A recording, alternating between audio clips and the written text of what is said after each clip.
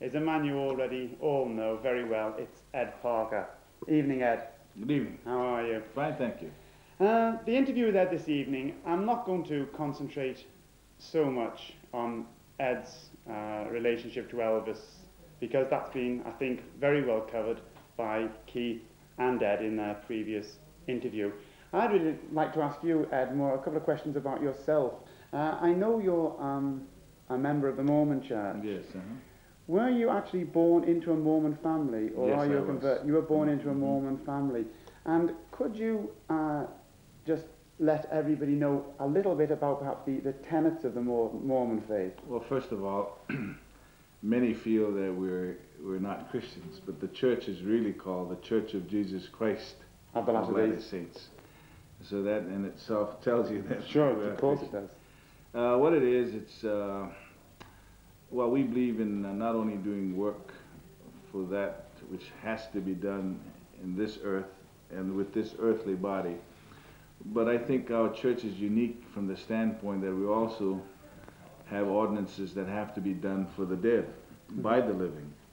Now, this is done vicariously. By that I mean, although we do it for those on the other side, they still have the choice of deciding whether they accept or reject that which we do for them because they're only uh, they're, you know like i said there's certain ordinances that have to be done in the mortal body.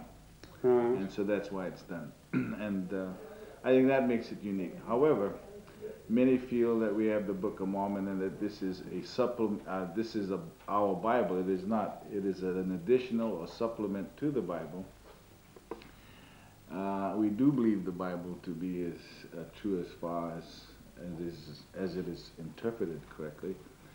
But the Book of Mormon is more or less of the history of the American Indians as to who they were, where they came from, and some of the things they went through when the church was among them. I see. One of the things which has always impressed me in my obviously limited knowledge about the Mormon faith is the fact that the missionary spirit is very strong.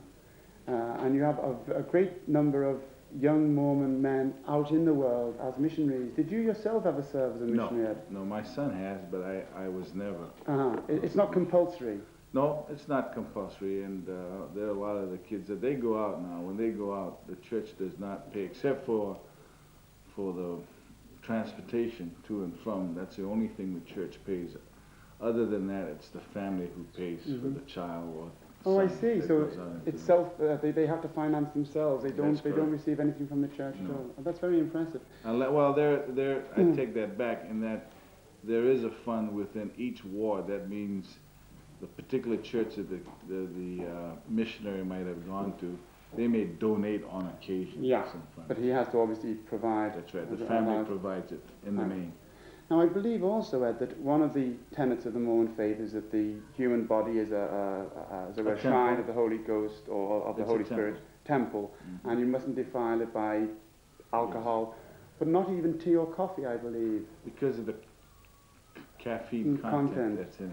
Well, that's right. Well, we, I mean, this is really, uh, uh, getting away. It's a little bit more light-hearted. Since you were born into the Mormon faith, we believe now in the States that they're producing Coca-Cola, which is caffeine-free. Have you, in fact, tried Coca-Cola since this new No, I Uh, haven't. I, I was just wondering how what would be your reaction. The first time I'd ever asked anybody of your age who'd tasted Coke for the first time, you see. What oh, it no, was no, like. I, listen, before I knew the fact that the church was against Coca-Cola, I was a Coca-Cola addict. Oh, well, I thought I was going to be the first American No. ever who wasn't No, a no, no. Coca-Cola fan. Oh, no, but I, you know, I, I didn't know that the church was against it, but uh, they, they, you know, again, they tell you of the fact that it has the contents, but uh, it's not mandatory. They'd rather you not. No, but it, it, it's more tea. It's more. It is the caffeine content in the drinks like tea and coffee which Mhm. preclude Yeah, your no, I'm just, I saw the other day passing one of your uh, uh, racehorse, uh, Uh, the, the uh, yeah the um, Racing. race horses.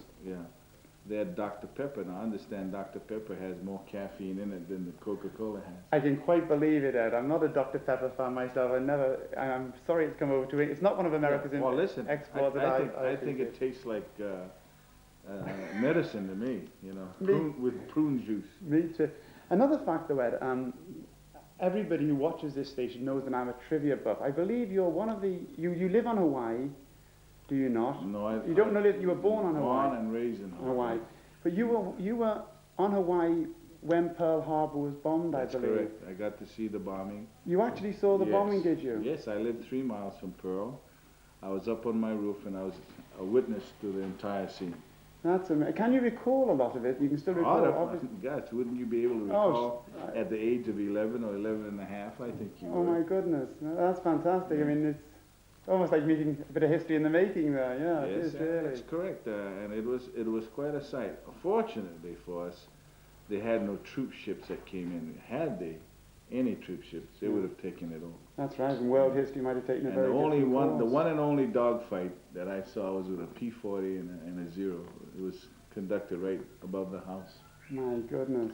Quite an experience. Yeah, I'm sure it was.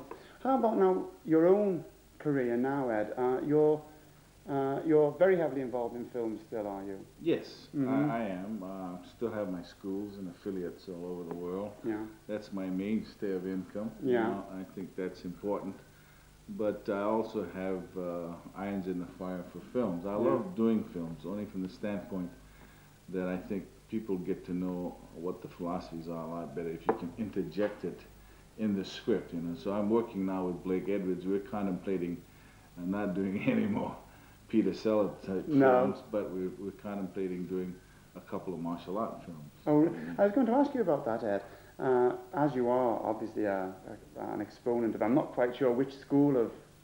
Kenpo is a system I teach, but it's, uh, you know, again, the system that I've developed is my own system. Your, And many have said, well, how can you develop your own system? Well, I'd have to take about three months to tell you. in I'm sure. I'm sure. I'm sure. But the point is, there are a lot of concepts and principles that other systems do not employ that makes what I have different.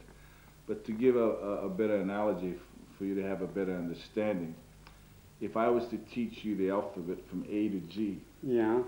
okay, and the principles of rearranging them so that you can formulate words, Uh huh. There's a lot, a lot of words that you could formulate just with A to G, especially when you're allowed to use each of the, those alphabets more than once. Yeah. You know what I'm saying? Yeah. Like, like uh, if you were to use it more than once, you could come up with such words as deed, which has two D's on each end and two E's in the middle. Uh, from that standpoint, but I discovered that there are a lot of alphabets of motion that was missing in many of the other styles. I So now I think I have the completed alphabet of motion, Mhm. whereby I've extended it beyond A to G. I And see. as a result, now I can, you know, interrelate other uh, of the alphabets and come up with better words. I see. Yeah. It's That- that's, sophisticated. it's a very good analogy you've drawn. And what is your opinion of the martial arts films which have been produced and released up till now? I'm talking about the Bruce Well, Lee and the Chinese, Uh, the well, Hong Kong Bruce Lee was uh, Bruce Lee uh, was excellent. Mhm. And, uh, now, when I say that, I say that from from experience because Bruce lived with me when he's broke down and out, and I was the one instrumental in getting him his job as Kato. And from that point, he took off. I saw in him a quality that I felt if it was on screen, he would be a big asset to those of us in the martial art fields in creating interest. hmm And that he did.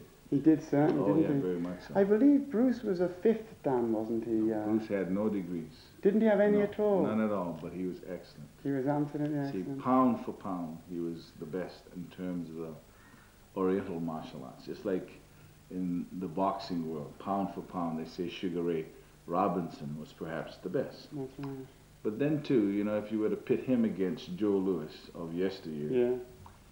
Uh, both being in their prime, I would put my money on Joe Louis because he was bigger, That's right. stronger, and when he hit, you know, I good big one will You'd always like beat to a good little one. That's what they That's- say, isn't it, that's- Yeah. Exactly. So weight, size, and strength definitely has a bearing. I see. Well, look, at the only thing, these interviews, I've got to come to an end because you have clips of Elvis to show. Oh, certainly, that's But- right. I'd like to say anyway, thanks very much for coming along here. I mean, I know there's been so, there have been so many calls on your time whilst you've been over here, but it, Well, my time is your time. What am I going to do? Just sit down and, and look at? No. no, no, I I'm- know, but it's very I'm happy to do it. I, when I sit down with the fans, I don't say, "Gee, how long is the line? Gee, how many more people?" I, I don't even think that at all. I sign until I run out of people. Well, that really, it's really nice to meet somebody who does that. Anyway, look, I'll say to, on behalf of everybody, thanks for coming along to the TV studios. Thanks for coming over to England, and thanks for being such a just generally such a, a great sport and for doing Yeah, you're a great fan club. What else can you expect? Ah,